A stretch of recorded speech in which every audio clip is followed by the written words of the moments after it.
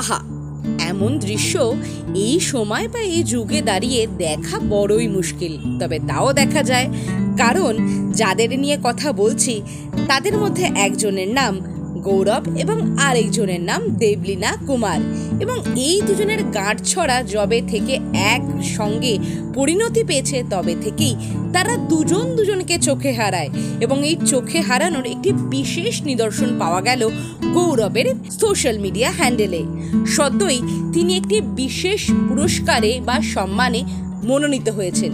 যে সম্মানে ভূষিত হওয়ার পর তিনি যতখানি আপ্লুত, তার এই সম্মানকে ঘিরে ততখানি সম্মানিত এবং আনন্দিত, তার পাশে দেবরিনাকে পেয়ে দেখে নেওয়া যাক গৌরবের ফেসবুক এবং সোশ্যাল মিডিয়া পোস্টে গৌরব কতখানি কৃতজ্ঞতা স্বীকার করেছে দেবরিনার প্রতি এবং তা দেখে আপনারাও নিশ্চয়ই আপ্লুত হয়ে পড়বেন এই দুজনের প্রেম এবং রোমান্টিকতা দেখে।